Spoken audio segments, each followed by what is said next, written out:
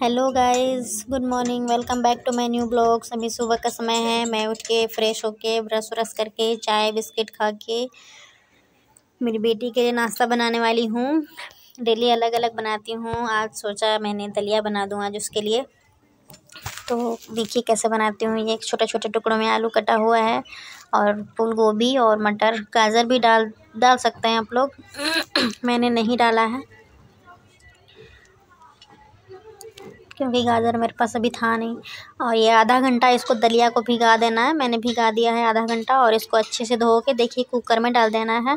कुछ भी नहीं करना है, बस जितना भी कटा हुआ है गोभी, मटर, आलू, टमाटर जो भी, उसको कुकर में डाल देना है और स्वाद अनुसार नमक, हल्दी डाल देना है। और एक कटोरी मैंने भिगाया था दलिया, इसलिए डेढ़ कटोरी पानी दे रही हूँ। आप लोग अपने हिसाब से दीजिएगा। अगर बनाना चाहें तो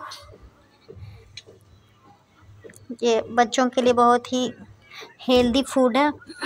बड़े भी खा सकते हैं, ऐसा नहीं है बच्चे बस खाते हैं। और इसको तीन सीटी मरवाना है कुकर में।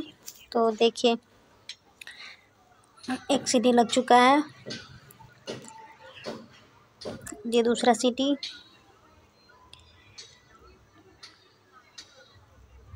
अब ये तीन सीटी लग चुका है। मैंने गैस को बंद कर दिया है। और हमारा दलिया बन के तैयार है। अब इसको दो मिनट ऐसी रख के फिर खोलेंगे। ये देखिए, बिल्कुल रेडी है हमारा दलिया। अब मैं अपनी बेटी के लिए निकालती हूँ।